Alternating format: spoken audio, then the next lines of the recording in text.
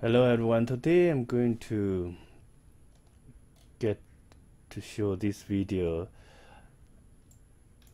How can I get this Sound Blaster Blaster Live sound card working in Windows 10 so basically this is a very old PCI based hardware. It's uh, quite popular before but now there's no more support in Windows 10 or Windows 8 so basically this is the one. So what I did is I tried to Google search and found some link. For example one link is for this one.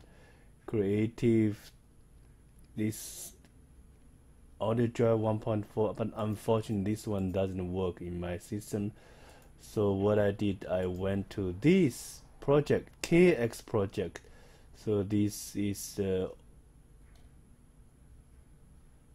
one to provide the compatible drivers for um, Windows 10 Sound Blaster Live. So I went here download and I download this file. This is the full file. Download this one. So view full file. After download and I I run the installation. I download it here so you can run the installation. After I did the install I went to my device manager. So here you can see this one KX installed. So after that